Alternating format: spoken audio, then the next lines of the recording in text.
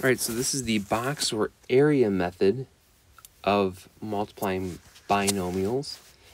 Uh, I did want to point out that up here, this problem said y plus 6 times z plus 5.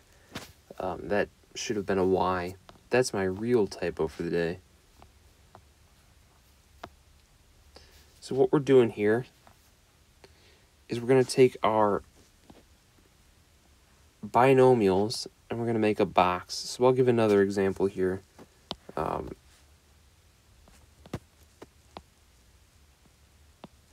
let's say x minus nope that's not that's not a good idea x plus 2 x plus 4 and what we're doing is we're writing one binomial along the side and one binomial along the top so one along the side and one along the top here.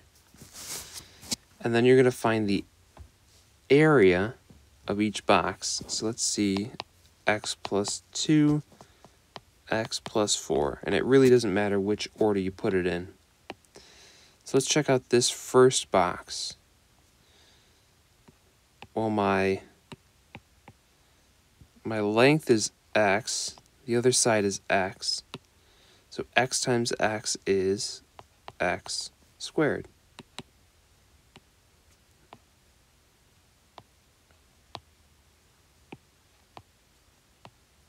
All right, let's try this with this box right here. Well, I've got 2 and x. So the length is 2, the width is x. So this box is 2 times x, or 2x because your area there is length times width. Let's try this box. Length of x, width of 4. So 4 times x is 4x. And our very last one be 2, length of 2 and a width of 4. So 2 times 4 is 8. And once we've got all four boxes filled up, then all we got to do is add up our four spots. So x squared plus 2x plus 4x plus 8, or x squared plus, and we combine our like terms here, plus 6x plus 8.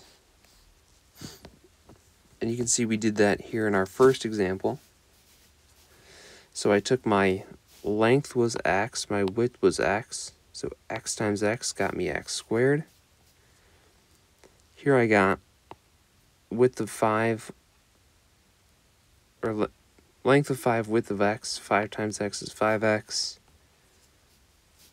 Then I've got a length of x, width of 2, 2 times x is 2x, and here I've got a length of 5 and a width of 2. So 5 times 2 is 10.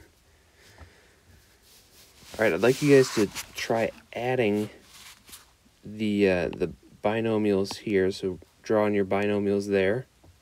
Write those in there. And then multiply to find the areas of each one of these four boxes. So it would be x plus 1, x plus 3. This would be x times x is x squared.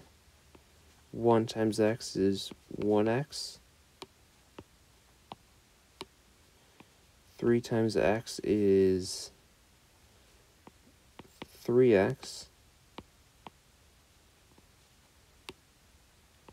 And 1 times 3 is 3. Then we would add those boxes